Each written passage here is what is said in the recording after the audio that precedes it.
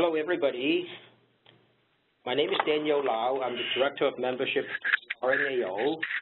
It's so great to have everybody joining this working together to support authentic Indigenous partnerships between the Indigenous Nurses Association and the Registered Nurses Association. Um, I'm going to uh, uh, start by uh, giving a very high-level brief introduction of uh, RNAO.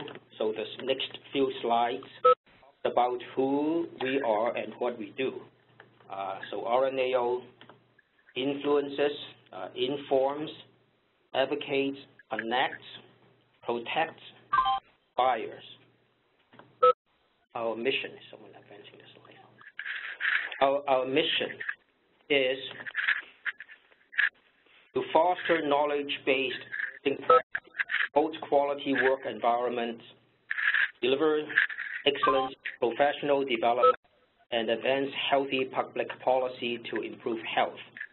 We promote the full participation of present and future registered nurse, nurses, nurse practitioners, and nursing students in improving and shaping and delivering healthcare services. Our values are we believe health is a resource for everyday living and healthcare is a right. We respect human dignity and are committed to inclusivity, equity, social justice, democracy, and volunteerism. We value leadership in all nursing roles across all sectors in order to advance individual and collective health. And through collective leadership, we collaborate with, we collaborate with nurses, government organizations, and to advance healthy public uh, the next slide is about RNAO what ends. Uh, for those who are familiar with a policy governance model, and in plain language, is a special type goal that sets the results for which an organization exists. So there are four ends uh, that the board has put together. Number one is with RNs, NPs, and nursing students to stimulate membership. Number two is to advance the role, image of nurses. Number three is put on emerging. Number four, to influence healthy public policy. Uh, so now to uh, Lynn Mulrooney. Hi there, everybody. My name is Lynn Ann Mulrooney. I work as the Senior Policy Analyst, um, and a lot of the work that I have the pleasure of doing for RNAO is on the social determinants of health and health equity. So just to follow up um, from what Daniel was saying about RNAO working to advance health, healthcare, and nursing, we have some examples on the slide of how in RNAO's work to promote the social determinants of health and health equity, we can't help but the huge disparities and inequities um, among the indigenous communities. So over the last number of years, at every opportunity, um, RNAO has been trying to reinforce the, the asks and the calls for action by Indigenous communities in Ontario.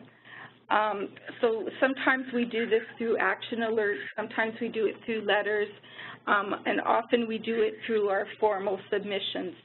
So just as an example, when we did a written submission to the Select Committee on Sexual Violence and Harassment, um, it was a it was a, a brief that had to do with ending sexual violence and harassment for a healthier Ontario. But our very first recommendation um, was what had to do with echoing recommendations by the Native Women's Association of Canada. So, if, so what we try and do as much as possible is reinforce what the Indigenous groups, communities, and leadership are saying are, are their priorities. Um, so on the next slide, um, it's, it, at the 2016 Annual General Meeting, um, we were so privileged to have a special keynote presentation um, that was looking at challenges and opportunities linked to the health and well-being of Ontario's First Nations people. So um, we started the day with a documentary um, that featured nurse practitioner May Cat um, and the work that she's been doing um, with the Aboriginal Indigenous youth in, in Northern Ontario, and it ended with a formal signing of intent between RNAO and Ontario Regional Chief Isadore Day. Um, and so, again, we take opportunities wherever we can, such as in our most recent uh, Ontario pre-budget put out in January to reinforce the calls for action on the social determinants of health that were identified as priorities by um, the Chiefs of Ontario. So while we have started a little way down the journey, um, RNAO is so appreciative of this chance um, to work with CINA and have this opportunity to listen and learn more about working together to support Indigenous partnerships. So with that, I'm really delighted to go ahead and introduce our two very special uh, guest speakers. Um, Dr. Bernice Downey is a woman of Oji, Cree, and Celtic heritage, a mother and a grandmother. She is a medical anthropologist with research interests in health, health literacy, and traditional knowledge and health system reform for Indigenous populations. Bernice is a lecturer with the Faculty of Social Science Indigenous Studies program at McMaster University. She is also a registered nurse and is currently appointed as the Regional Aboriginal Cancer Lead for the Toronto Central Regional Cancer Program. Uh, Bernice is currently a postdoctoral fellow with the McMaster Research Office and the School of Graduate Studies, and leading the development of a McMaster Indigenous Research Institute. Bernice's professional experience includes sole proprietor of her consulting company, Minowagin Good Health Consulting, Chief Executive Officer of the National Aboriginal Health Organization, Executive Director of the Aboriginal Nurses Association of Canada, Associate Director and Research Associate and Special Advisor of the Well Living House, uh, which is at the Center for Research on Inner City Health at St. Michael's Hospital in Toronto. Um, she's an experienced administrator, facilitator, and an organizational, an organizational and systemic change agent. She is also a lifelong advocate to work towards addressing the serious health inequities among Indigenous populations in Canada. And um, the other person I have the deep pleasure um, to introduce is Dr. Lisa Bourque-Bearskin. Um, Dr. Bourque-Bearskin is a member of Treaty 6 Beaver Lake Cree Nation in northern Alberta, associate professor and new investigator with Thompson River University School of Nursing. Over the years, she has worked in many capacities as a licensed practical nurse and then a registered nurse. She began her teaching career working with Maskawi community in partnership with Norquest College in Alberta Um, before heading north to Iqaluit, Nunavut, where she taught in the first Arctic nursing program. Over the next decade, Lisa worked at the University of Alberta Faculty of Nursing, where she developed and delivered Indigenous nursing initiatives. Lisa recognizes the rights of First Nation, Inuit, and Métis people's health, and to that end works towards enhancing people's understanding of Indigenous health. Under the guidance of, right, under the guidance of Indigenous nursing knowledge holders, leaders, and healers, her research interest lies within Indigenous access care services for Indigenous people. Her expertise and research program is focused on creating sustainable Indigenous nurse-led programs that provide a network of professionals to create, exchange, and mobilize Indigenous knowledge in their local settings. Currently, as the president of the Canadian Indigenous Nurses Association, she provides leadership that enhances understanding of Indigenous nursing knowledge based on Indigenous social determinants of health. Lisa's focus on Indigenous wellness includes maintaining cultural integrity in both clients and nurses in support of Indigenous sovereignty as outlined by the United Nations Declaration on the Rights of Indigenous People. So we're greatly honored now to turn it over to Lisa and Bernice. Um, so everyone, I just want to let you know, um, this is Josephine RNAO, just to give you a bit of uh, technical house rules. Um, I'm going to unmute the teleconference line now so that we could have um, Lisa speak. So I would need everyone to please mute their own line so that we don't have as much disruption. And if you are on the phone line and you're also inside the webinar, please turn off your computer speakers because that might cause some feedback. Thanks. The conference has been unmuted. Le mode discrétion a été enlevé de la conférence. Hi, Lisa. Good morning. I'm here. Can you hear me? Yes, we can. Excellent. Okay, good morning, and thanks for that introduction. Um, and I just want to start off with acknowledging the traditional territories of uh, where we each work and the importance of recognizing how important the environment is to our overall health and wellness and um, considering it, it's very timely that we all acknowledge that uh, we're rooted within our specific regions and the traditional territories of the people that we work with. Um, so um, I'll just go right into the PowerPoint. I'll just giving a brief overview of CINA and what CINA has been doing, a bit of history, and then go in um, leading up where Bernice will take over um, stock to talk specifically about um, how we aim to try to reach out to our regional bodies now and try to come up with ideas and ways of working together so that we can sustain um, this being an Indigenous organization. Um, over the years, as most of, uh, some of you may or may not know, um, is um,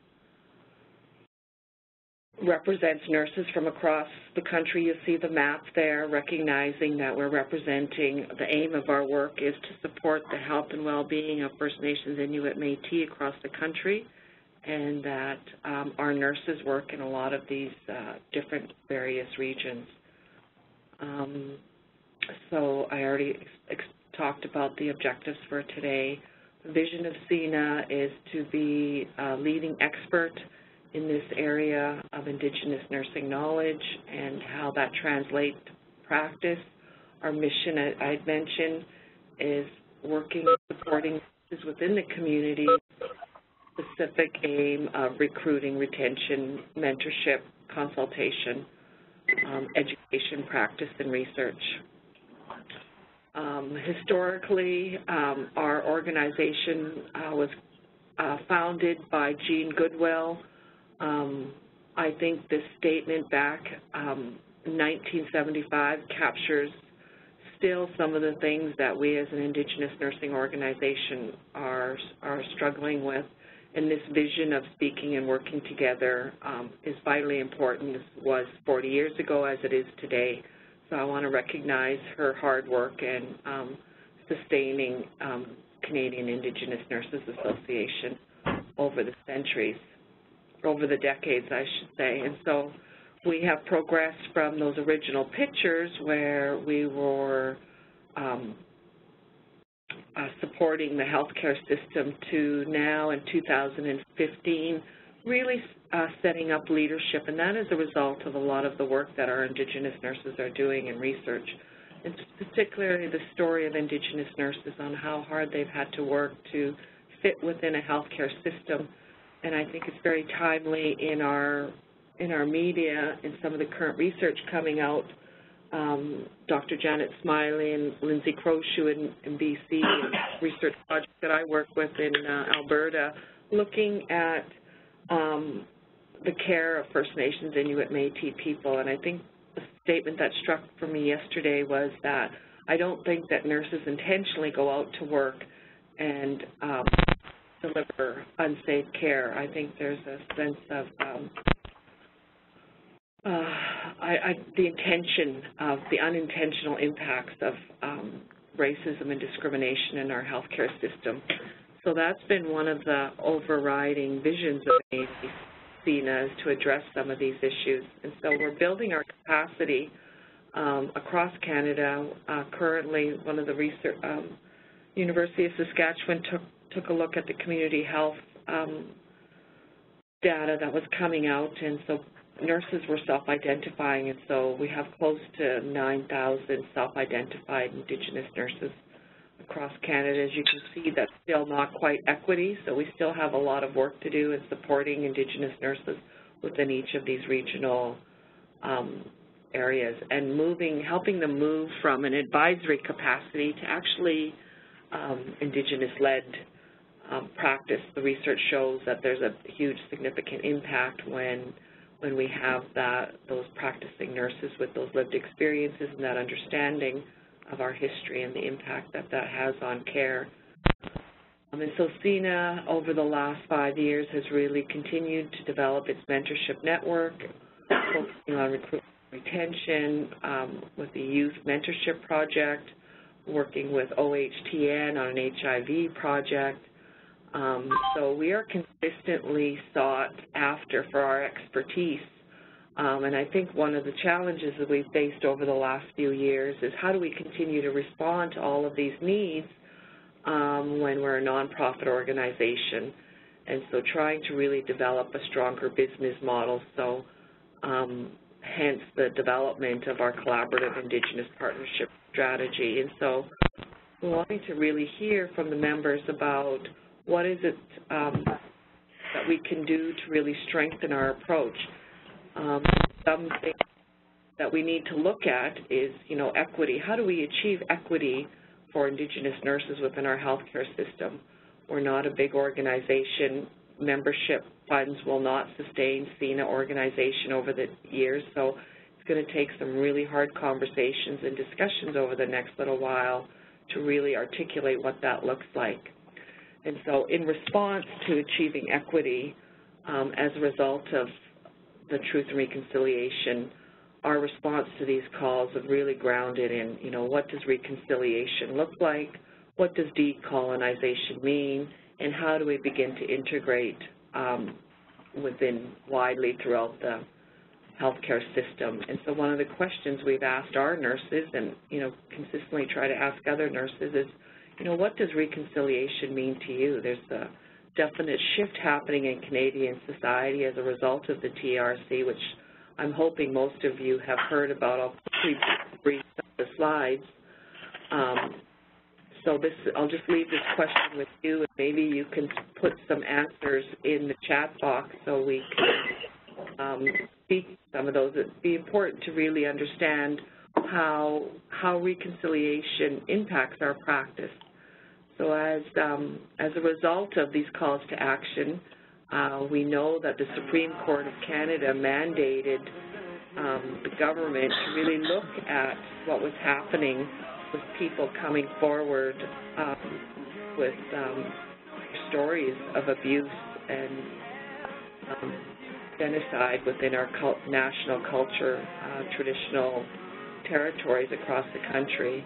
So the Commission done extensive work over a number of years, holding national events, gathering stories, and now the University of Manitoba has now housed um, all of these documents, so uh, developing a very strong research center looking at the impact of, you know, this intergenerational trauma and how that um, influences our care within communities. And so how do we take that understanding of trauma-informed care um, and overlay it um, within our own practice, our standards of practice. And I think about standards of practice, and I, you know, in looking at standards of practice across Canada, there's very few provinces that actually have any kind of statements um, acknowledging uh, Indigenous um, peoples and the history and the socioeconomic status of our of our community. So this legacy of residential school has uh, continues to have um, an impact um, that we're seeing. I think that's what we're seeing. The suicide in our northern commu in our communities is really a symptom of, of the system, um, which really needs to, you know, a lot of our focus needs to be brought to that attention so that we can start trying to dismantle some of the systemic issues that we're seeing. Um, you know, I think this slide here that that shows the legacy of residential school is, is very powerful. And so when we compare it to World War I or we compare it to um, what the kids in general Canadian society have been educated on, we, we well, it's well known that um, every school system has some um, on the Holocaust and the impact that had. But when we look at the history of Indigenous people, there's a, been a huge void in that education. So um, it's important that very timely that we take up this work as nurses. Um, you know, when you look at education and what social work is doing, they're far advanced than what nurses have been able to achieve so I think we really have a lot to learn from our colleagues in social work and education on how they've been able to address and integrate Indigenous ways of knowing within within the system, within practice, within the communities. And so this, um, so we know that there's this huge intergenerational impact, and I just spoke briefly about that. The 94 calls to action um, are very and I think we're just really starting to uncover a lot of that work. So CINA has really, uh, the board of directors um, has really advanced our, our approach in the area of where we want to go, and it's really looking at access to traditional wellness practices. And so then the other one, which is one of the reasons we reached out to our regions, is, you know, how do we how do we integrate this mandatory training in health education? Um, and who, you know, what does that look like when that um, when that all falls um, into our practice areas? So, hence the question: What does reconciliation have to do with nursing? And I think specifically addressing that call to action on mandatory education um, is really important to acknowledging the truths of the Indigenous nurses across Canada. There's been, you know, lots of evidence to show that Indigenous nurses, you know, are, are fairly invisible within the healthcare system. We know that the health disparities are, are widening. We know research has been previously based on mine mining, and we know that there's many barriers still to accessing nursing education, even with the equity seats that we have in place. Um, now um, there's more inequities growing as a result of those inequities. So in this post-era, I don't even like to call it post-era because I think we're in the area of TRC.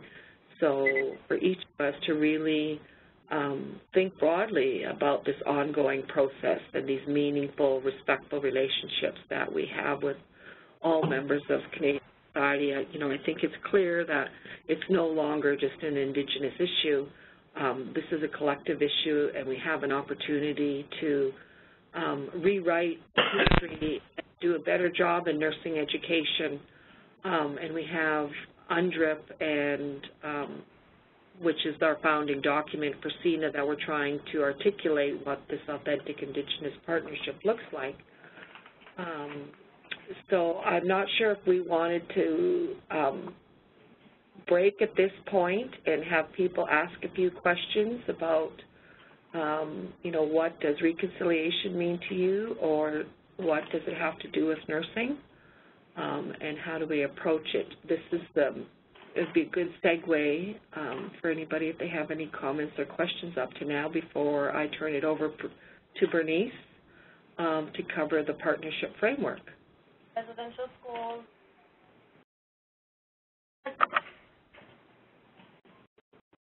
interesting, and, and you see a lot of this you ask them, like, the substance Is that, a- that a- am I hearing a question?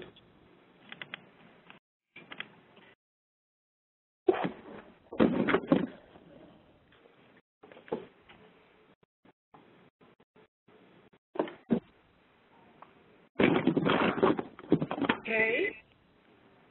So if no one on the line has anything to say at this point, I'll just read out a comment that we received in the webinar um, from a student participant. Um, she says, we need courses that focus on the cultural competencies and care. As a student, even though I have a greater interest in this area or to do practice in this area, I do not have the means to train well to provide competent care. I need more training. Yes, and I, you know, I just respond to that. I think it's really important that we start looking at the language we're using, right? Um, and I try to, um, has been a strong advocate for cultural safety work, um, and so encouraging nurses to really think more about safe practice as a competency. Competencies are individual markers for an individual, but I think when we look at healthcare and our relationships with First Nations people, cultural safety brings much more substance to the discussion. Um, and CINA developed a framework with um, core, six core competencies that can easily be integrated into all schools of nursing. In a research study we did a couple years ago looking at which schools of nursing um, were utilizing our framework to integrate those competencies, it was quite alarming um, that I think it was like less than 30% of the schools of nursing even were aware of our cultural safety framework, which is a really good document because it even helps students when you look at, you know, your practice. So how do you address, right?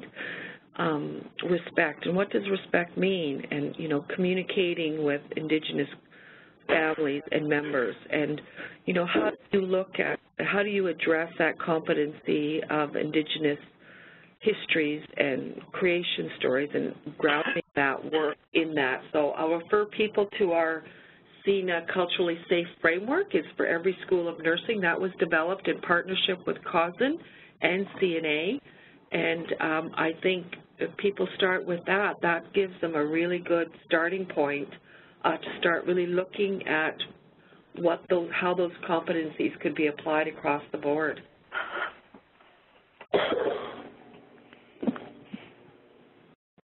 Hey, Lisa. So you might have answered this partially or in full, um, but another question from a participant.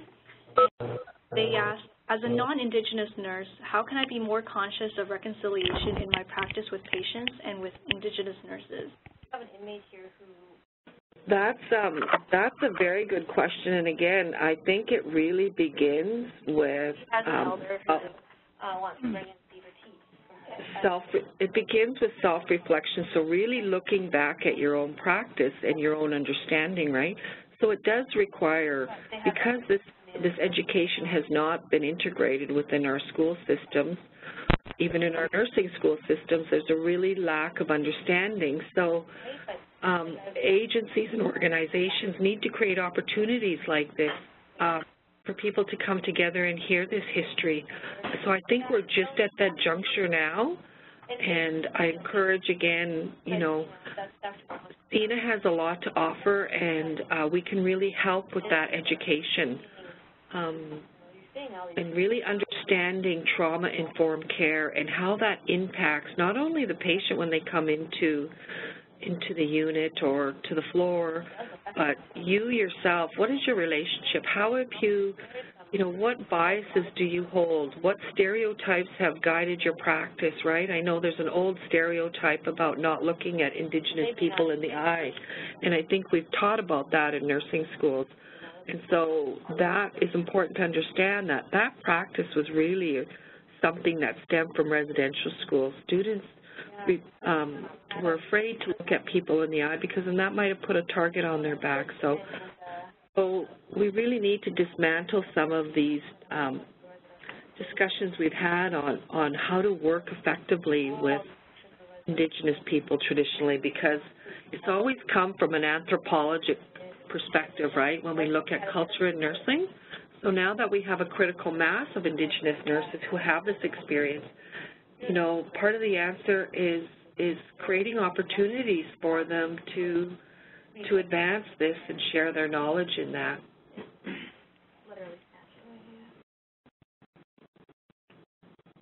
And there's no easy answer. I guess that's what I'll finish off on before I'll let Bernice go. There's there's no easy answers. There's no checklist on this, and I think you know the importance of relational ethics when we talk about ethical practice, right? Um, that's a really important area to to look at for our own own um, practice standards. Up there, and they're so appreciative, right? And I thought it would be so neat to go to the fly-in reserves and Okay. Um, Bernice, do you, are you ready to take over? Yes, hello, can you hear me okay? Yep. Can you hear, okay, um, so I just want to, um, acknowledge that I can hear somebody talking in the background. Um, so just a reminder to mute your lines.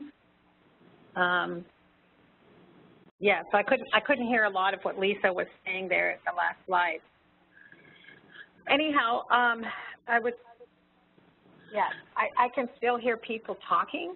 I don't know if others can. Yeah, uh, Bernice, I could I can mute the line again, and that way it will only be you speaking. Oh, that will be less distracting for me. Yeah, just give me one second. Okay, thank you. The conference has been muted. La conférence a été mise en mode discrétion. Okay, Go ahead. so, okay, thank you very much. So um, I would like to formally start by um, saying Ani and Chi Miigwech for um, inviting myself and Lisa to um, this webinar to talk about these, these uh, various issues.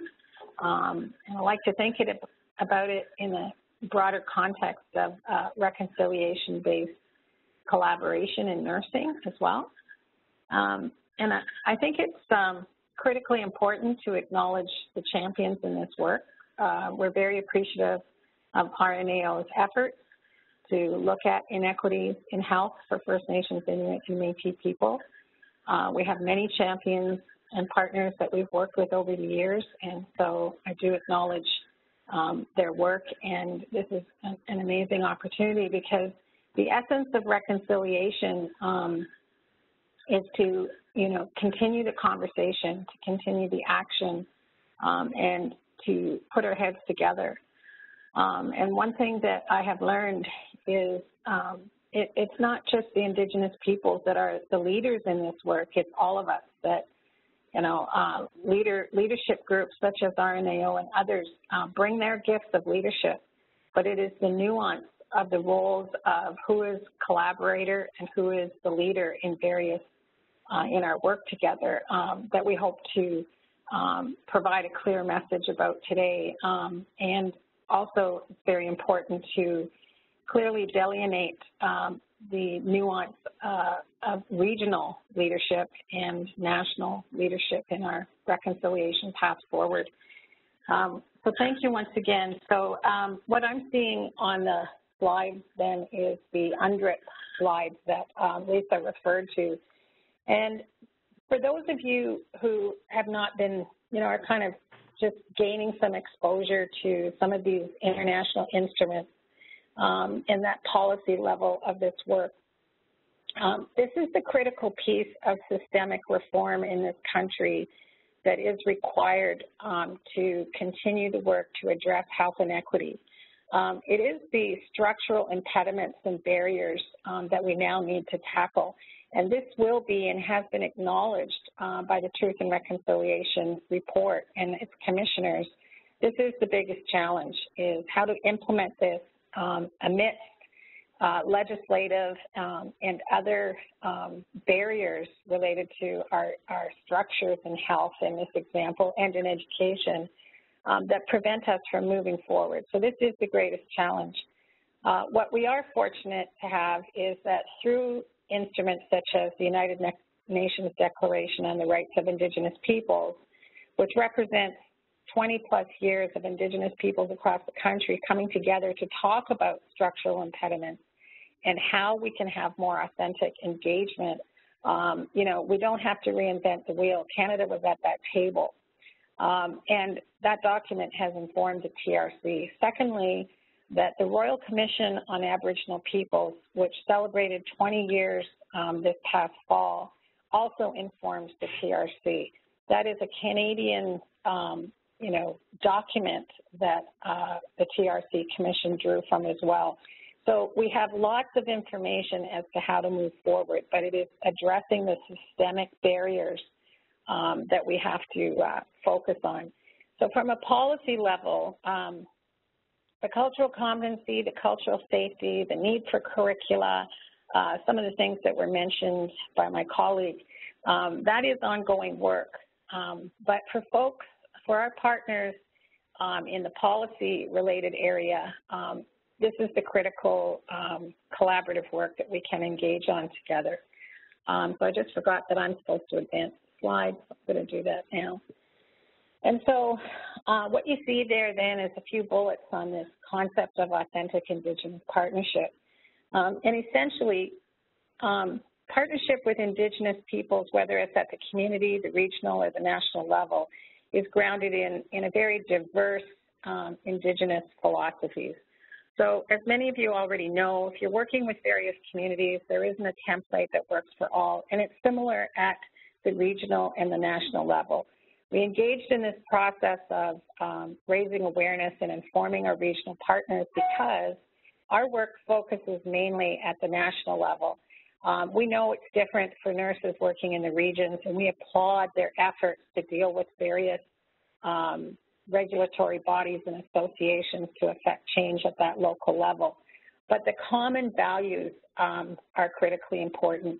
We need to center relationality, respect, and reciprocity at the core of self-determination. So again, you know, while uh, Canadian Indigenous Nurses Association holds a wealth of unique nursing knowledge related to Indigenous health, we recognize that organizations in this case, the RNAO, hold expertise in working within legislative frameworks related to nursing in this province, for example. So we offer each other, um, you know, something equal, and there is the value of reciprocity in relationships.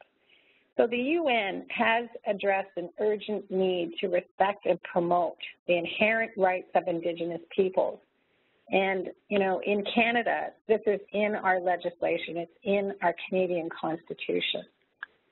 And so the notion of authentic Indigenous partnership is grounded um, in this larger international context. Excuse me.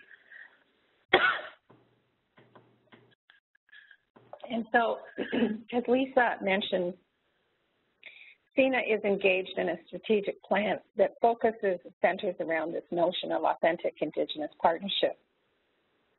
And our intent is to engage collegial, national, provincial, and local nursing partners.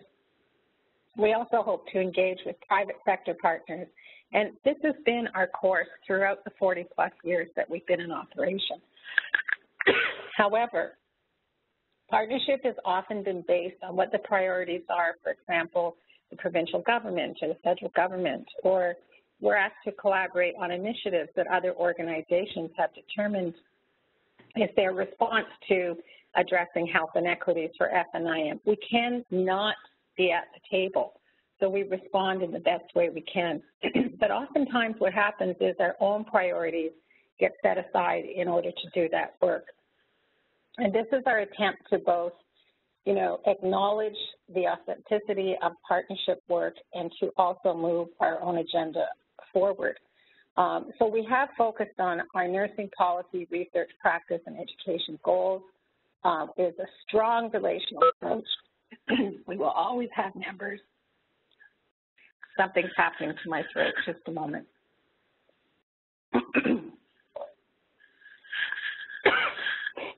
Um, I've discovered that having a four-year-old grandchild who's just in school means I have to go through the whole immunocompromised situation as a grandparent. um, so I'm just getting over a sore throat. so, I've already mentioned um, that our, our framework uh, reflects the spirit and intent of UNDRIP and the TRC, and that we cannot engage in this work without our allies. Um, so we acknowledge the many years of experience and that the heart of our organization is about our members. So in the field, the local, community, regional level, are Indigenous nurses with many, many years of unique nursing knowledge that reflects an Indigenous worldview. Um, we've been leaders in articulating concepts related to cultural safety and competency, as Lisa was saying, and we aspire to the notion of buy-in with Indigenous people. Um, I'm going to skip the next slide in the interest of time about how we engage. This is part of, of our foundational um, organizational documentation of how we will engage. So this continues to be relevant within this authentic partnership uh, process. Um, and again, it reflects the self-determining aspect of um, engaging Aboriginal people in decision-making of their health care. So we will continue to prioritize partnerships that are in alignment with our strategic plan objectives, and member services and support is critical. This is oftentimes um, criticism that we receive is around our need to beef up members and so forth. Um, as Lisa mentioned in an earlier slide, one of our partners identified over 7,000 Aboriginal nurses. Um, we, we need to continue to work in this area, but we also need capacity to support our member services. Um, and to inform our collaboration with others through Indigenous nursing knowledge, which is at the heart of um, the authentic partnership. And so we see the work of our members as a doorway to Indigenous communities, and, and this is not new. Community health nurses are often asked to participate in various tables, often at a disadvantage, working off the side of their desk because of their heavy clinical commitments, um, but they are acknowledged for their expertise. Um, we recognize our Indigenous nurses as stewards of INK or Indigenous nursing knowledge within their practice, and we thread that awareness through four priority areas of collaboration, which includes education, research, policy, and practice. And so this next slide is a visual that kind of pulls together um, the uh, concept with Indigenous nursing knowledge at the center, our four areas of um, policy, standards, education, and research um, around the wheel and informed by, uh, in the northern direction, principles of authentic partnership, um, policy, um, and protocols. Um, so in terms of partnership objectives in the area of policy, and I think this is a critical one, as I mentioned earlier, in thinking about our collaboration with organizations such as um, RNAO. So, you know, the focus over the past 15 years has been at the applied level, helping health professionals uh, who work with Indigenous populations to understand what cultural competency, cultural safety, how to affect changes in curriculum and so forth. But this next piece as I mentioned, around systemic reform is critical. And our nursing leaders, um, policy and decision makers, um, they need support as well. We need practical um, instruments, tools, um, advice, and protocols uh, to, so that we can advance the reform in the best way possible. Um, what will happen in this era of TRC is we, we are at risk of repeating the same old, and that is that various initiatives creep up. Um, you know, you may be informed by various Indigenous individuals or groups, um, but do not have a strong, in this case, Indigenous nursing knowledge leadership at the core. And I want to refer to, just back for a minute, to the question around cultural safety and trying to understand more about a reconciliation path forward. What is now, what we are now in the next phase of understanding cultural safety concepts and cultural competency is the notion of racism in healthcare. Um, there's been an excellent document released um, two years ago that's on the Wellesley Institute website um, called First Nation Second Class Treatment, and it's authored by Dr. Janet Smylie and Dr. Billie Allan, and it's gaining a lot of traction in the Indigenous health community in understanding equity because there is still a measure of systemic racism um, in the health area. Um, and that is not that is not talked about. Um, and in fact, some critics of the of the concept of cultural safety acknowledge um, it is lacking because of that. And so we need to understand that, have conversations about it, and we need to address it head on. And that that's you know an area of policy reform that needs to be um, um, taken up. Um, so that's just one example. Um, but overall, our aim is to advance Indigenous nursing policy and to work with our partners to do that at all levels. Um, we need to facilitate the Indigenous nursing voice, and this has been, this kind of format has been um, formally adopted by CNA, as you can see there.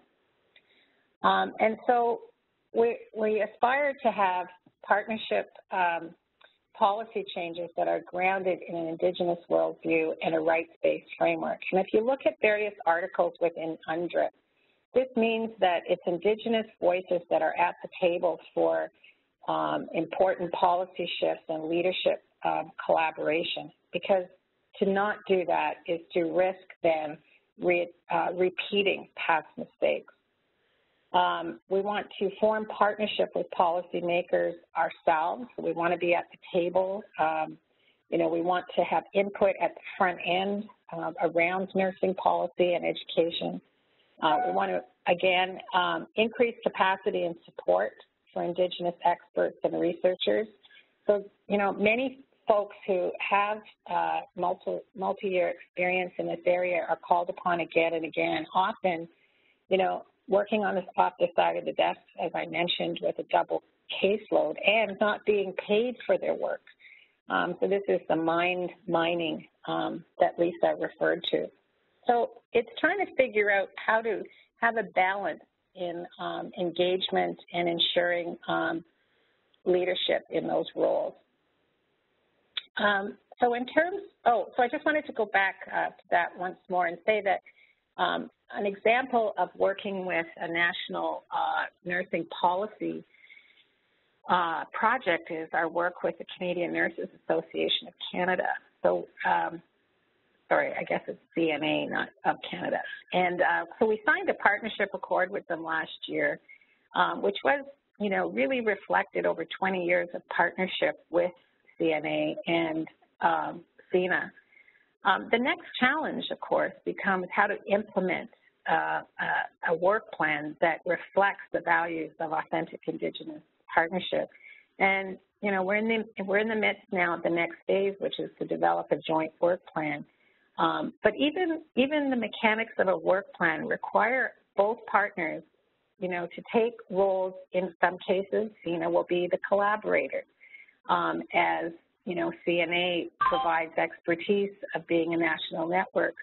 They will be a collaborator versus a leader in the Indigenous nursing knowledge. And so working together in a new way takes time and careful deliberation, and that's uh, the process that we're in now. So it's a learning experience for everybody that I think um, can serve as a template for other organizations um, addressing uh, nursing policy uh, or educational reform. So in the practice area, um, you'll see here from both from our original draft and input that we've had from other webinars and other um, events, um, that the professional role continues to evolve based on the settings and context. So we know that, you know, everybody is dealing with various issues and there's quite diverse uh, issues there. Um, that Indigenous nursing knowledge is at the core. And clearly articulating what that means. So, you know, is it just Indigenous nurses who have Indigenous nursing knowledge, or do we also have to make room for non-Indigenous nurses who have been working with Indigenous communities for most of their career? What does, you know, so what exactly does that mean, or, you know, how, what's the nuance in that? As I mentioned, the identification of structural barriers and solutions. Um, you know, so nurses who are wanting to introduce traditional knowledge or traditional healing um, collaborations into their practice? Uh, what are the barriers for them doing that at the community level? Uh, there's a lot of fear around that, a lot of unknowns, and there's not a lot of room in legislation um, or accreditation uh, for traditional healing. So that to me is like the next frontier that we all have to deal with. Um, connecting with regulatory bodies to make sure that those systemic changes are made that support these kinds of work and harmonizing traditional healing and um, Western knowledge. Um, I won't go through each bullet point, I'll just highlight a few. So in the areas of education then, um, support and education of our nursing students remains a critically important objective. Um, you know, we've had witness to a lot of systemic reform um, and partnership uh, with our Canadian Nursing Students Association that have come out very strong in support of Indigenous nursing and um, making structural changes with their partners to support that. We're very proud of the work that they have been doing. Um, we'd also uh, continue to partner with our nursing educators. As Lisa mentioned, we've done a lot of work with CASN in the past, and we'll continue to look at um, new ways in this reconciliation path forward. Um, we also, you know, there's a, a, huge interest of schools of nursing to, for those who currently have nursing uh, Indigenous health curricula in their in their uh, programs, to those who are just starting down that path, um, you know, how do we support um, various schools um, in this um, in this area?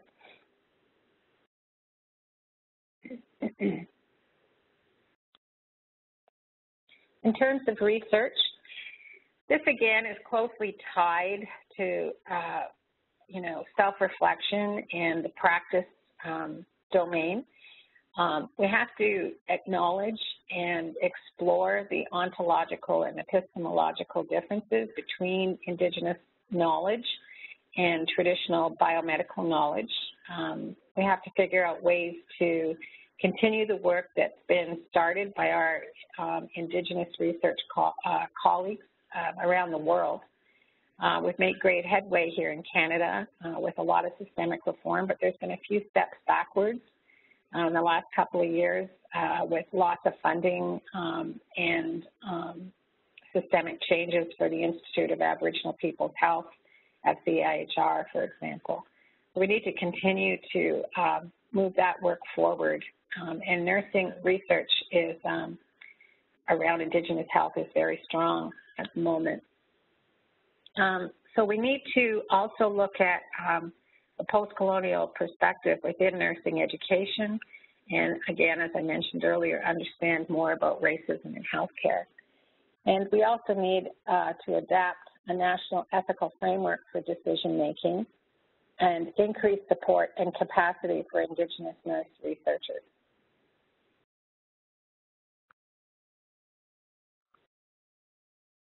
So here's kind of getting to the meat of the matter. Um, and again, um, as we all reflect and consider the calls to action, um, you know, the questions are now being asked, well, how do we go about it? And the implementation of the TRC calls is the biggest challenge as acknowledged by in the report.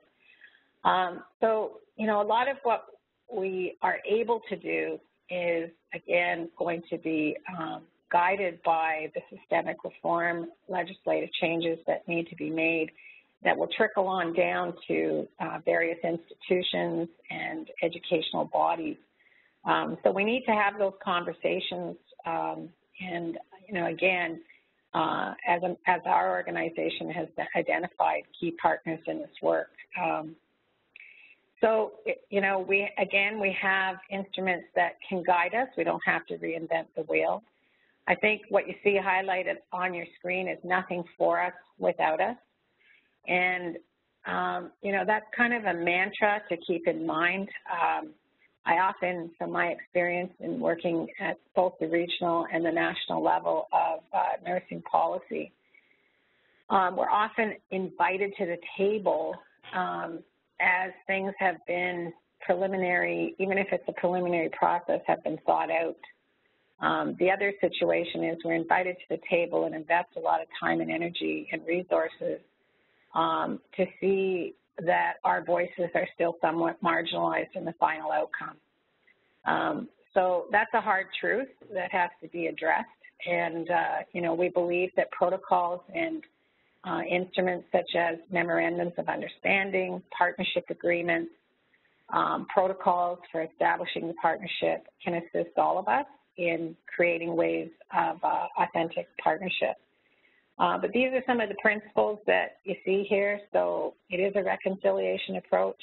It is recognizing that there are many well-intentioned initiatives and um, activities that, that happen that seem to reflect uh, good intentions by our partners, but actually marginalize our voice. Um, so when we are not included in a process, um, it perpetuates that situation. Um, I mentioned before principles of relationality, reciprocity, um, standards of excellence, equity, and respect. Um, and also, um, there's a huge learning curve for our, our colleagues and our allies, and that is knowing uh, about the socio-historical context uh, in all areas. Um, and so what I mean by that, like right now I'm aware that there are 62 online resources in Ontario alone about the history of Indigenous peoples in this country. Um, so, you know, there are excellent resources to tap into. And um, CINA has a lot of publications, and online education is another project that we're engaging in. Um, but our leaders, our policymakers have to educate themselves as well.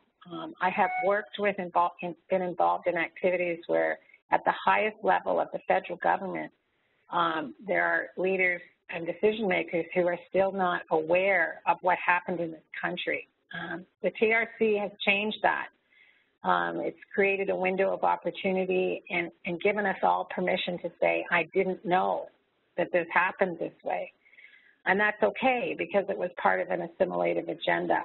Um, but you know, we have now set the bar high that we need to learn more um, in order to influence our work um, in a way that's going to create true change. So the education, and, and, it's not up to Indigenous people to educate everybody. It's up, up to our, our policy leaders and our, you know, our nurses, our educators to educate themselves. Uh, we can be at the table for the conversation, um, but that is, that's part of your homework. Um, so uh, those are some guiding principles, and then, you know, as I said, the regional and local level, there will be others. Protocols, uh, as I mentioned earlier, is important for uh, recognizing diversity. Um, organizations have different cultures and ways of working together. Um, but as these start to emerge and we test them out, um, there will be templates to share, and certainly CINA can see a role for ourselves in this regard. I mentioned the partnership accords or agreements. We need to clearly articulate governance and authority parameters of the relationship and the scope of the activities that people will partner in. There's not a need for everybody to do the same thing. There's a need to clearly articulate who's doing what and how we will do it. Um, that becomes a challenge in a policy and funding environment that sometimes pits organizations, you know, scrambling for the same resources. Um, so, you know, we have to we have to address that. We have to learn to work in a different way. And so, finally, in terms of the next steps, um, you know, this is our third webinar. Um, we have one more regional one um, that we hope to do either in the north or in the west.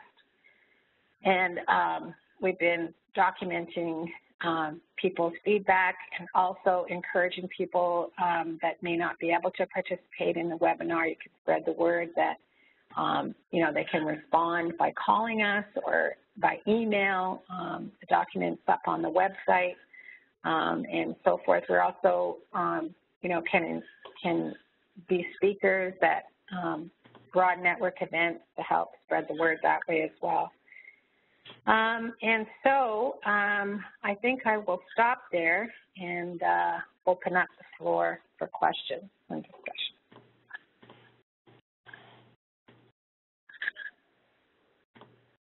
Okay. Thank you, Bernice. Uh, I've received a few comments during the presentation, which I can read out on the line now. Uh, one person said, uh, great resources provided, thank you. I'll be passing that around to my coordinators Um, someone else asked for the link to the CINA cultural competencies. So maybe if um, if you can send that to me, I can forward it to the participants. Yeah, um, I'd just like to acknowledge um, that that document is online on the CINA website, but there is a, a, a small charge for the document. Um, if that's a barrier for some people, it, it's also on the CASN website uh, without a fee. So I know that's not very good salesmanship, but in the interest of people having access to the information, uh, that's another way to access the document. Oh, okay, great. And on the CASN website, uh, if you just search for uh, CINA cultural competencies, would it come up? Yes. Okay, great. Um, okay, so another comment is, uh, hello, in Ontario Health, we are offering a foundational ICS online program. It's co-facilitated and interactive, designed to assist healthcare professionals to disrupt the unexamined biases that interfere with good practice. And they provide a link. Um, it is based on the San'yas program developed in BC. I think it's helpful to distinguish between learning about cultures and helping people to do deep reflection on their own cultures and thinking about how colonial beliefs are embedded into healthcare. Um, yeah, I think that's uh, an excellent uh, comment to share with the group. Um, I think that some of these resources that are, you know, and initiatives that are expanding on the concept of cultural safety, self-reflection, um, you know, are in keeping with the kind of a reconciliation path forward.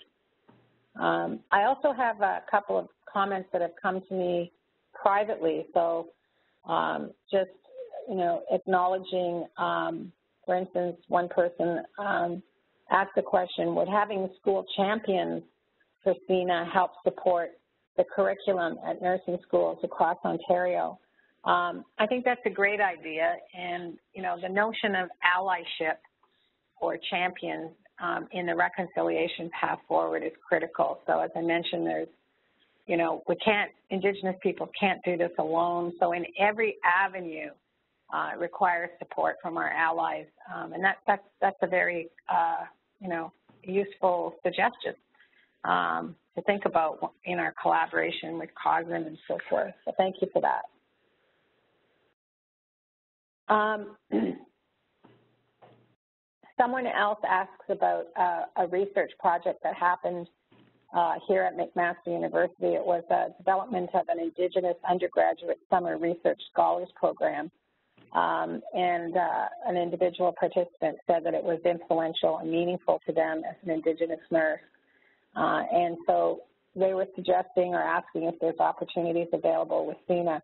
Not at this time, um, but if people are interested in that program, and I'm also aware that um, the University of Winnipeg has uh, adopted this same in undergraduate research program.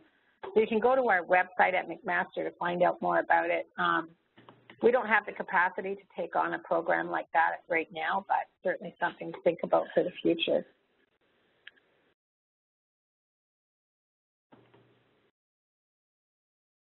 Uh, Bernice, would you like me to read the next two comments? Um, or to, if there's somebody that wants to say something online. Oh, yeah, sure. Let me just unmute the line then. Okay. The conference has been unmuted. Le mode discrétion a été enlevé de la conférence.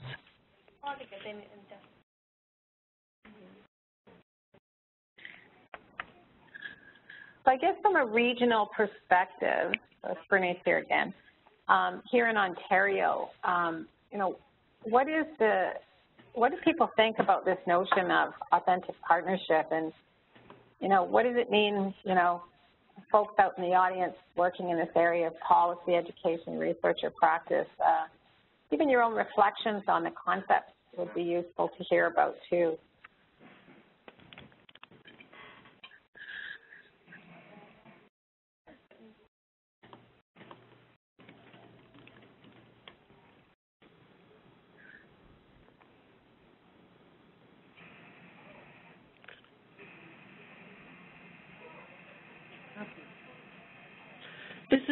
Bernice, and just while people are maybe thinking about their responses, just to, you know, uh, add to that question about um, authentic.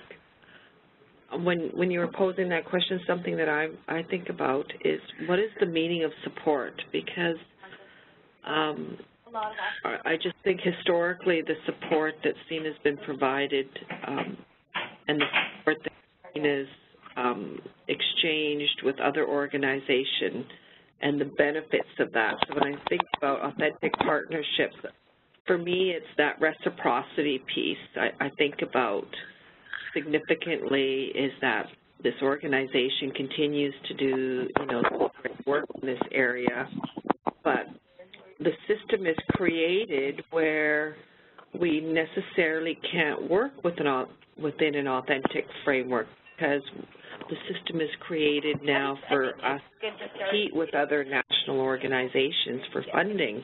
And, you know, and I, you know, I hate to take it there, but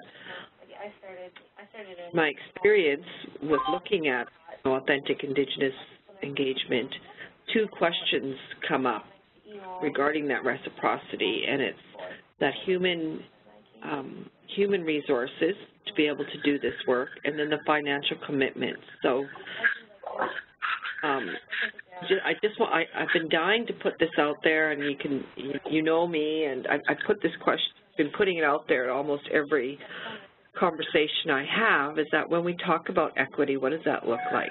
For CINA to be able to continue to do this work and to work in collaboration with our regions, we need to think smarter, and we need to think about how do we align ourselves with our regional bodies so that there is a sustainability commitment investment to CINA so that we can make sure this organization stays around for another 40 years. I think the knowledge will be an, immediate outcome of that relationship with with other organizations, right? So, you know, I'm, I'm curious to hear what regional members think about the idea about, you know, one of the biggest things that's been up against is sustainability. So we're going to continue to do this work on authentic Indigenous engagement, do we do, continue to do it out of the kindness of our hearts and share all this information, or do we come up with some some working agreements about financial support, right? Um, and so would people in, in the Ontario region support uh, the funneling of funds to an Indigenous health agenda that could maybe be used to support CINA over long term. Yeah, um, so Lisa, that's, uh, I also wanted to add to that. Um, I just wanted to share a little story because um, I always read silence in these kinds of things as uh, not that people aren't interested or have something to say, but oftentimes people are just shy or fearful of saying the wrong thing, except for the person who's talking in the background constantly. um, um, so maybe you can mute the line again, uh, Joe, because I can't hear myself. Okay, sure. Just give me one second. I remember the very first guy. The conference has been muted. La conférence a été mise en mode discrétion. Thank you. Sorry about that. Um, so I just wanted to share this quick story. So um, I was involved in the WHO Commission on Social Determinants of Health. We had a Canadian reference group. Uh, myself and Margo Greenwood from the National Collaborating Center on Aboriginal Health participated. And um, it, there was a, a, I think it was the CNA biennium meeting um, out in the East Coast there a few years back. And we had a special day on social determinants of health. And there was representatives from many you know, lead organizations and so forth, but it was a smaller invitation only. So there was a small panel. I was one of the panel speakers, and the idea was to break out into these groups of identified um, uh, focus. And so one of them was Indigenous health.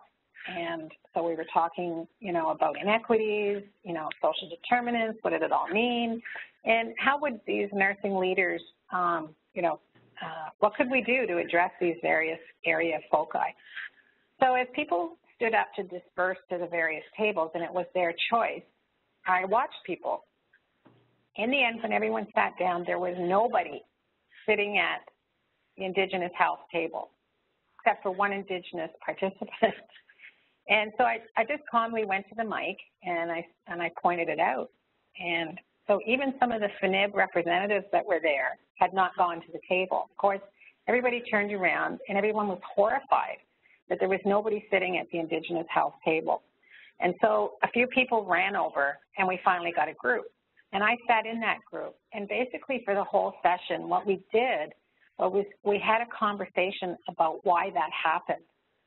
And what we came up with and reported back to the group is that there is a general sense at all levels, in all domains, of we don't know what to say, how to say it. Um, you know, we want to yield to Indigenous leadership, voice, and experience.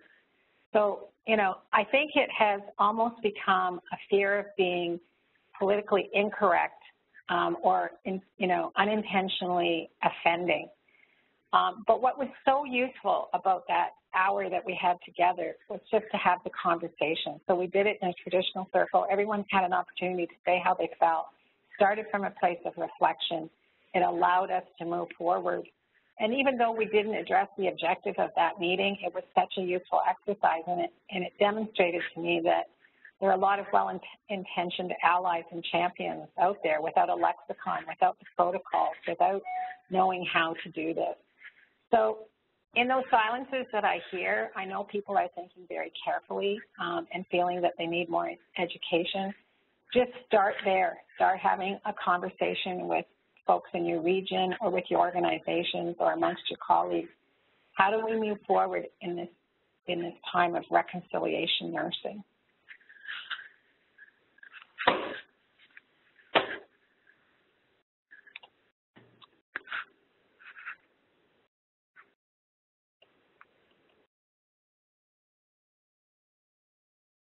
Um, there's a question there that I'll tackle, uh, and Lisa, you may want to jump in. So it says, uh, are there things that we can do to make our existing partnerships with Indigenous leaders more authentic?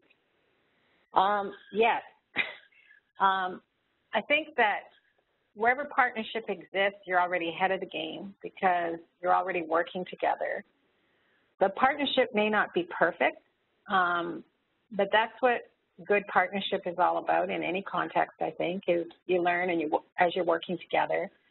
Um, but I think what's critically important is, um, you know, where there's tensions or, um, you know, where there's opportunity to enhance the partnership is now to take the time and educate all members of that partnership about the TRC um, and about the articles relating to uh, Indigenous people's rights to self-determine um, their organizations, um, the way they want to work together, and, and reflect on what you're doing. Uh, where are you meeting the mark? Where is there room for improvement? Um, you know, how, you know, another area of focus is how do we infuse our partnership with more emphasis on Indigenous nursing knowledge? What is traditional healing? What is indigenous knowledge? Um, you know, can we can we raise the bar to make room for that in all of our domains? Um, so those are a few suggestions. Um, Bernice, I think Lisa wants to add something, so I'll just unmute the line. Mm -hmm. Just a reminder to everyone, please uh, just try to minimize the noise on your line. The conference has been unmuted. Le mode discrétion a été enlevé de la conférence. I'm not really listening, actually. We can hang up on him. Hi, Lisa. Are you there? Yes, I am. No, okay, um, I, oh, I, I just put it on on the chat thing, but I, you know, I just being mindful of um, what um, Bernice was sharing there. You know, this is tough work, and it's it's hard to have these tough conversations. I was just in class teaching a, a group of first-year nursing students last week, and um, it was really difficult for them to bring forth and to feel safe and to talk about their own personal assumptions and biases. Um, so, you know, um, these are tough conversations, and so creating that space where we can, so it's, you know, it's putting our judgments aside. So, yeah, it's tough work, but, you know, all I can say is that I think we're definitely in a in an era now where we can create these tough conversations and really critically un unpack nursing and give people an opportunity to expose their myths and assumptions, right? That's it's tough work, and I know um, just from that experience last week, I was really taken back um, with with the discussion in class, and it kind of like shook me to the core because I thought these are first-year nursing students, and they're very strong in their views, right? Um, but once I got over that initial shock of some of the statements, I think we then further engaged in, you know, a very therapeutic conversation, and it was really eye-opener for some of those uh, students to walk away and just, you know, thinking about it a little bit differently. And, and that's one of the things that I think about the word Indigenous, right? When you look at the meaning of that word, it, it basically means that we come from the land. So that's why I appreciate that word because it it doesn't support this colonial ideal with the term Aboriginal or even First Nations, Inuit, Métis people. That, you know, as nurses, we've got to critically unpack the language we're using because if we're choosing to continue to wor use words like reserve and, you know, um, First Nations, Inuit, or Aboriginal, then we, we buy into this colonial ideal that this is how we identify people, whereas a lot of our Indigenous communities and families are reclaiming their own traditional names. Um, so that's that's really important, tough work for nurses, but you know, nursing is skilled in these areas to be able to have these conversations. So we're skilled in working collaboratively with with different disciplines and professions. So, you know, that's why I'm a very strong advocate for nursing leadership in this area to to um, create these conversations and, and, facilitate these very deep discussions because we're all indigenous from somewhere, right? Um, so that word helps me not to separate people. And when I think about our communities too, um, just the language we use in nursing really needs to be unpacked.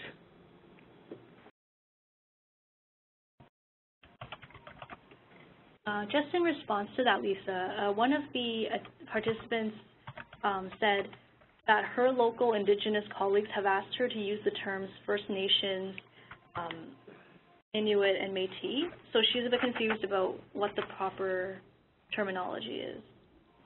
Well, you know, um, I think, um, you know, when we look at the history of colonization and the, um, the influence of the Indian Act, which still currently is in place, it definitely articulates ways that our communities should function. And it's clearly in there that um, they identify as First Nations, and Inuit, Métis people. So in the colonial ideal, if, if First Nations communities are wanting uh, their nurses to refer to them than that, then I would respect that, right? I know other communities, there's this other big shift, and we're in the midst of the shift. That's why, you know, there is no right word. It really depends on where your community's at um, in terms of how they want to self-identify. I know here in BC and Alberta, um, our communities are reclaiming their names. So now when I do any kind of communication or talking with the community, they want me to use their traditional name, which is Tecumloops Teshwetmak Ulu, right, which represents 17 different. But when I work individually with the community, they want me to specifically use their name, such as Simpcw.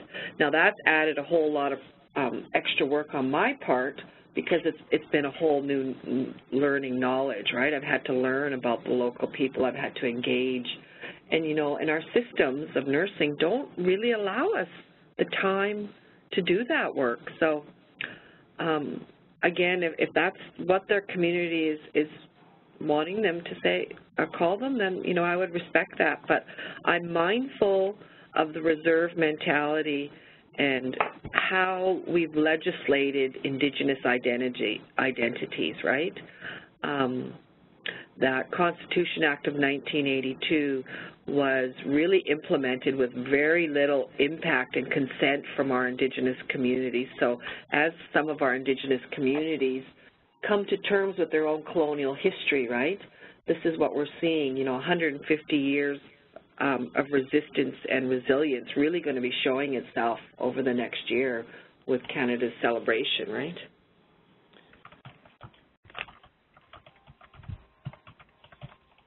Yeah, I would I just uh, I would just add to that that um, I mean what I primarily see is the term Indigenous is used from an academic perspective.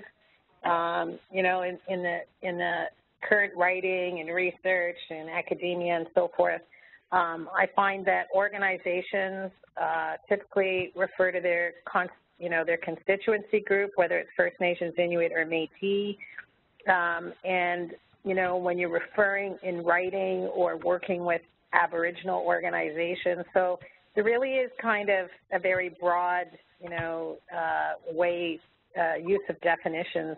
Um, and the document that I mentioned earlier about racism in health, um, that's down, you can download for free from the Wellesley Institute website, First Nations Second Class Treatment.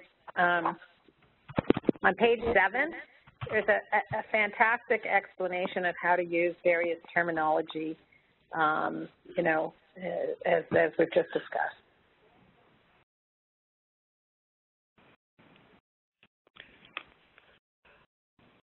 Uh, getting back to, uh, this is Liz speaking from Ottawa. Um, I just thought I would break the silence. I, I uh, uh, thinking about the discussions uh, Lisa mentioned in her classroom uh, with the first year students, it would be really helpful for, I know, educators to have some case studies, some questions. Uh, presumably, I haven't looked at your framework, but um, maybe there are discussions around that. Maybe someone could explain that to me. Uh, sorry, I'm not sure. Yeah, can you just clarify a bit further? Well, uh, uh, uh, Lisa was saying in her classroom she had a discussion with her first-year students around Indigenous people and their history and thing, and, and it seemed to be difficult at first to get them talking, and then a lot of things came out. Well, what kinds of questions, or how did she encourage that, or what did they did they read something first and work in small groups, or did she ask questions from the whole class, or what approach did did she use? Actually, I, it actually came about accidentally um, in a quiz that I, I give weekly quizzes just to see if students are following the readings. So in the quiz, I actually used um, an indigenous, uh, an abstract by an indigenous scholar, and I didn't put any names on that. But the, anyways, when when it came time to reviewing the quiz, that's when the comments came out about why are we still dwelling, you know, on indigenous issues? Why are indigenous people oppressed? You know, you know, indigenous people do this to themselves. And this was as a result of just having that example of that, abs that indigenous abstract on that quiz. And it was quite interesting because the week before, when I gave them abstracts of other qualitative and quantitative research examples, there wasn't those value judgments made with those abstracts. So it really came out with the integration of that um, indigenous abstract. Um, and so then what I what I had to do is then I pulled out TRU is very um, has a very strong policy at a very high level. The TRU is very clear, Thompson River, about Um, indigenous education. So I use that as my stepping stone to say, okay, so what I hear you saying, and you know, it was it was just reassuring the students that this was a very important conversation and this was a safe place, and so let's put some of these myths on the table.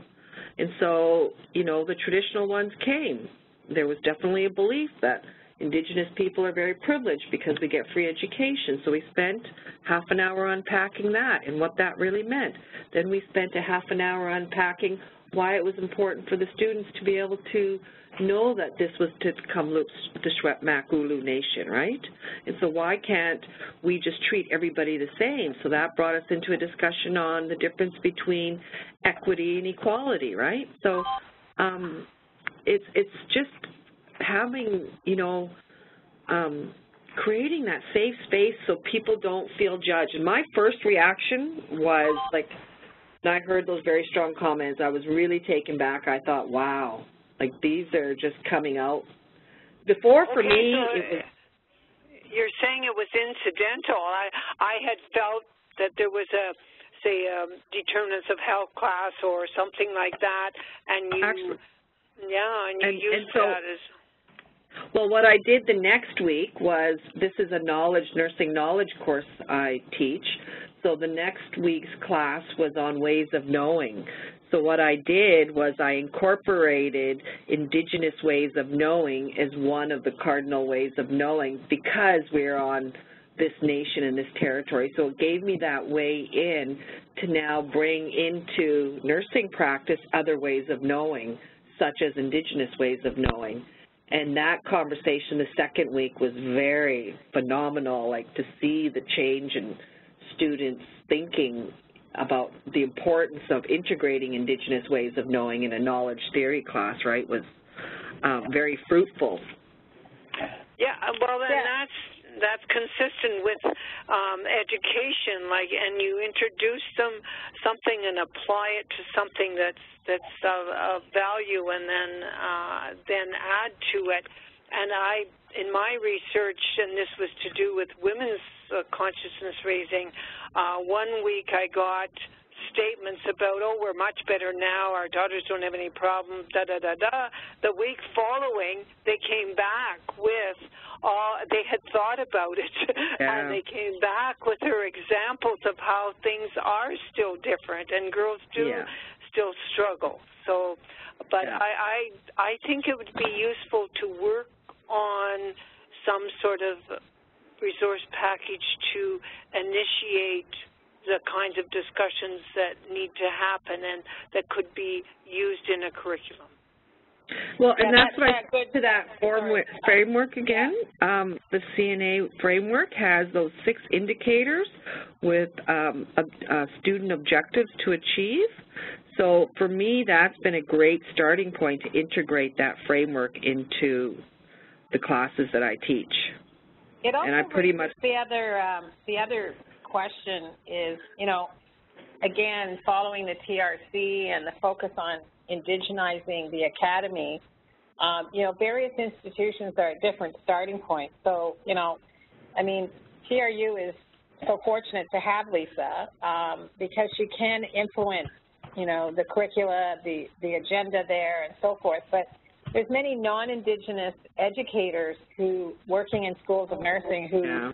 You know, want, need resources. Um, so we're looking for, you know, broader network kind of support. And so one of the projects that CINA is in, embarking on is a collaboration with the Canadian Council on Universities, um, the schools of nursing. There's a working group there that's looking at understanding what are the needs across uh, universities in Ontario around uh, nursing curricula and Indigenous health. So, you know, we need to continue to develop that work and there's, you know, and, and not leave our, both our Indigenous and our non-Indigenous uh, nursing educators holding the bag.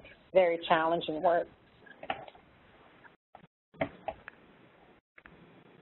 So I'm looking Yeah, at and just to- And just to, and just to support that statement, Bernice, um, the Canadian Association of uh, University of Teachers will be releasing their position statement on Indigenous education um, for all um, academic, all, all educational institutions.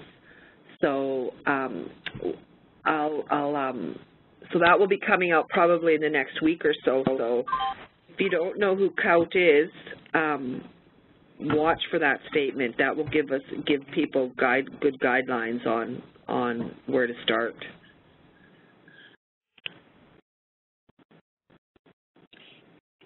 Um, so I'm just looking at the time. Um, I think we're, we're about to wrap up, no? I wonder, I heard somebody um, make a comment. I wonder if I cut somebody off by accident. I'm sorry.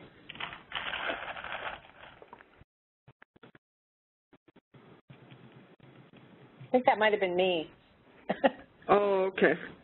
Sorry, Bernice. We're just talking amongst ourselves.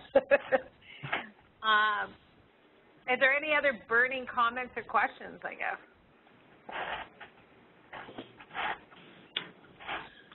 Do you have a uh, do you have a list of people and their um, uh, that have talked today and their contact information, or we would just go through the um, the, uh, the uh, website, the CINA website? Um, yeah, uh, well, the CINA website has, like I'm, I'm the uh, board member for Ontario Quebec region, um, and Lisa is the current president, so you can reach us through the CINA website, but I'll just post my uh, email address here as well at McMaster um, if other people want uh, to reach me.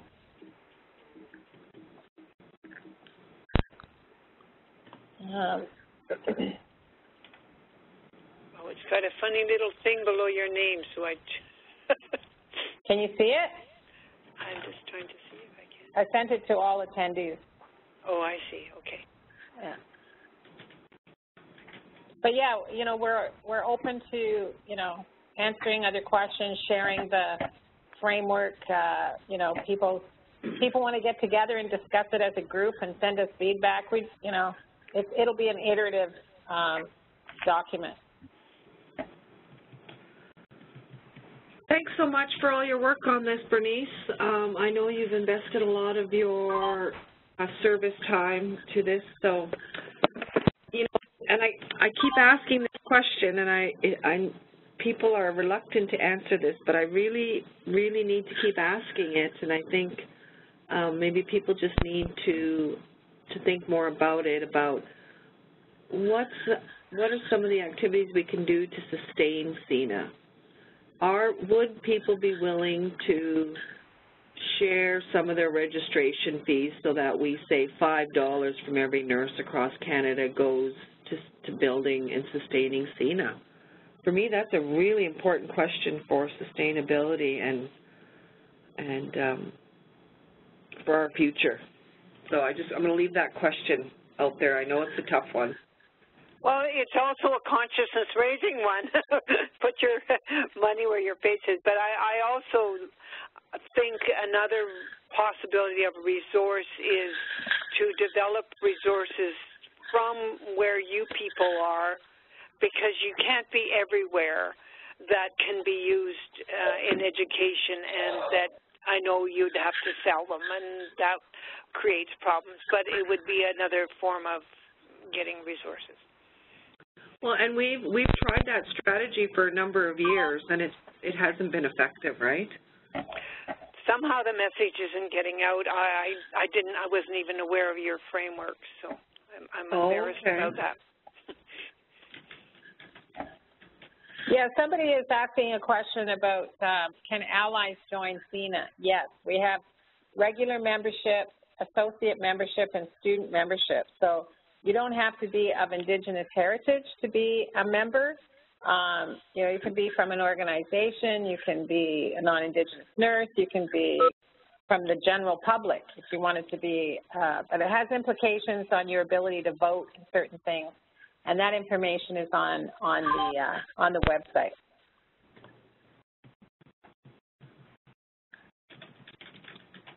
Lisa and um, Bernice, it's Lynn I'm, I just have a little question, if you don't mind, is you were mentioning the National Ethical Framework for Decision Making.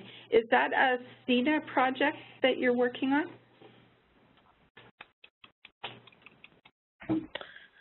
Um, I'm trying to think where that was mentioned. No, we're we're not working on an ethical framework. Um, I think I think that might have come, came up in the discussion around perhaps, uh, Lisa, what you were discussing around, um, or the research slide. I think in the research slide, Um, Or I was thinking maybe it was misunderstood as authentic framework? Yeah, yeah, there is a new, like there, uh, Can, uh, Canadian Indigenous researchers I've been working with international colleagues uh, around the area of reform around research ethics that are, you know, within an Indigenous context, reflect Indigenous values in research and methodologies, for example. So there is, there's been work, ongoing work. Um, the, the framework, this framework is, a, is about partnership and collaboration in a self-determining context, um, but certainly encompasses ethics, yeah. Thank you. That's, that's very helpful.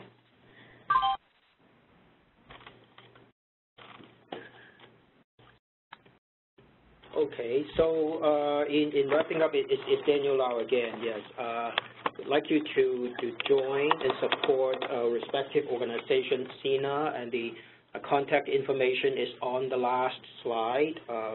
And for colleagues who want to be part of the strong voice to shape healthy public policy and are not a member of RNAO, I would invite you to sign up on the website today at rnao.ca slash join, uh, the 1-800-268-7199 for questions.